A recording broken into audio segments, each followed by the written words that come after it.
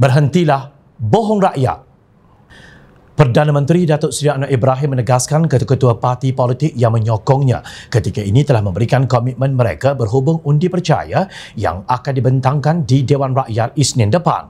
Ketua-ketua parti Pakatan Harapan, Barisan Nasional, Gabungan Parti Sarawak, Gabungan Rakyat Sabah, Warisan dan beberapa parti lain sudah memberi komitmen dan insya-Allah kita dapat teruskan dengan baik. Minta saudara doakan yang sebaiknya katanya pada sidang media selepas mempengerusikan mesyuarat kabinet di Pejabat Perdana Menteri Menteri di Putrajaya. Menurut Anwar, beliau telah menjelaskan perkara itu semasa menghadap Yang di-Pertuan Agong Al-Sultan Abdullah Riayatuddin Al-Mustafa Billah Shah baru-baru ini. Pengerusi Pakatan Harapan itu dijangka akan mengadakan undi percaya semasa persidangan dua hari Dewan Rakyat bermula 19 Disember. Anak Ibrahim dilantik sebagai Perdana Menteri atas cadangan Yang di-Pertuan Agong dan sokongan Majlis Raja-Raja Melayu.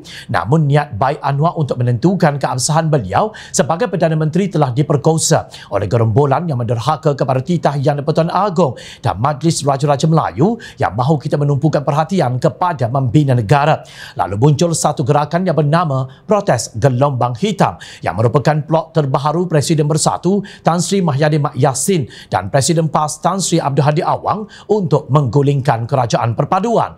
Gerakan ini dilancarkan pada 19 hingga 20 Disember ini sempena dengan persidangan parlimen tersebut. Pengarah Komunikasi Amanah Nasional Khalid Abdul Samad ketika mengulas mengenai protes gelombang hitam itu berkata mereka tolak tawaran bersama kerajaan sekarang mereka dengki mengimbas kembali senario video sebelum pelantikan Anwar Ibrahim sebagai Perdana Menteri ke-10. Khalid berkata, Perikatan Nasional adalah pihak awal yang terlebih dahulu diberi peluang oleh Yang di-Pertuan Agong untuk membentuk kerajaan perpaduan bersama Pakatan Harapan. Selepas pengerusi Perikatan Nasional itu menolaknya, barulah baginda memanggil pengerusi Barisan Nasional Datuk Seri Ahmad Zaid Hamidi untuk menghadap.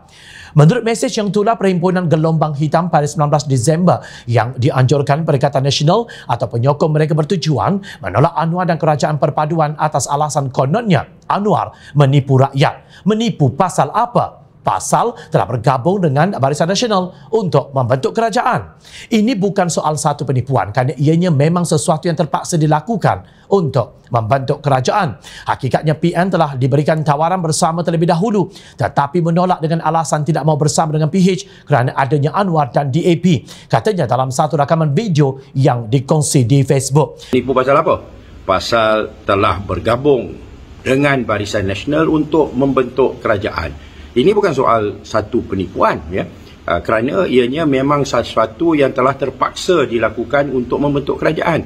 Hakikatnya, Perikatan Nasional telah diberikan tawaran untuk bersama terlebih dahulu tetapi Perikatan Nasional telah menolak dengan alasan tidak mahu bersama dengan Pakatan Harapan kerana adanya Anwar dan adanya DAP.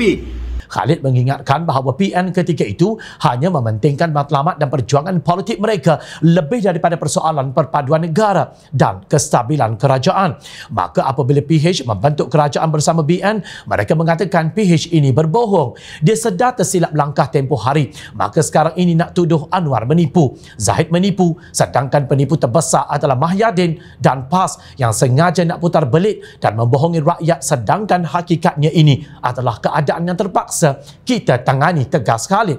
Rakyat masih ingat lagi apa kata Abdul Hadi apabila Pakatan Harapan mahu membawa usul undi tidak percaya kepada Mahyadin setelah beliau merampas kuasa menerusi langkah syaratan hujung Februari 2020.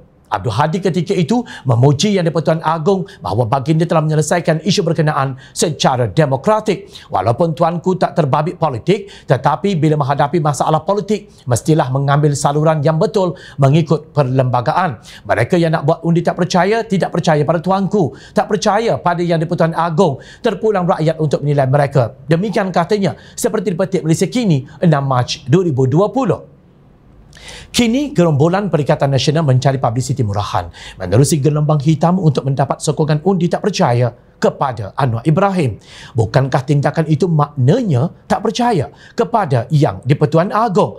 Mengapa bersilat lidah dulu kata lain, sekarang kata lain? Sedangkan Yang di-Pertuan Agong adalah sosok yang sama. Terimalah hakikat kalian sudah kalah. Tiada faedahnya mengeruhkan lagi situasi politik hanya kerana dendam kesumat kepada Anwar Ibrahim dan DAP. Pakatan Harapan dan UMNO BN juga pernah bermusuh antara satu sama lain. Tetapi demi perpaduan negara, mereka tolak ke tepi segala pertelagahan.